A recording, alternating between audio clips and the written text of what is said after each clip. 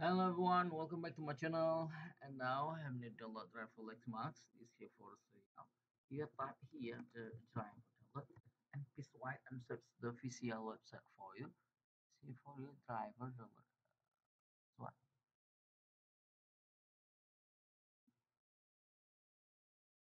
Driver download and, and this here for official website.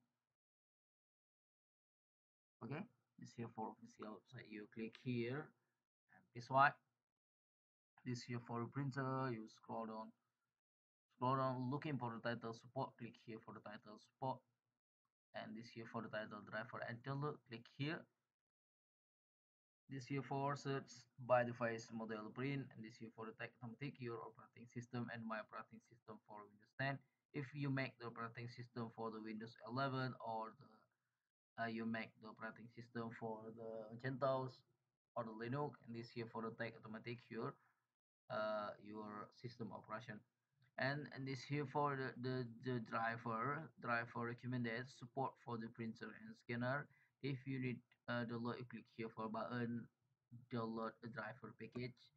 And this here for your all uh, operating system version for the windows.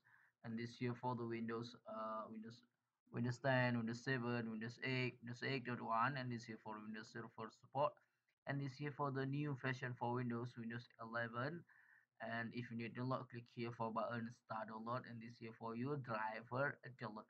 If you need install driver for the your printer you turn on the power printer you put cable usb printer to laptop or pc laptop or pc detect the usb cable printer and press white finish driver download if you finish there for the download you double click file you click next and you click finish this here for the tech automatic usb cable printer if you need question, comment below. If you need link download below description.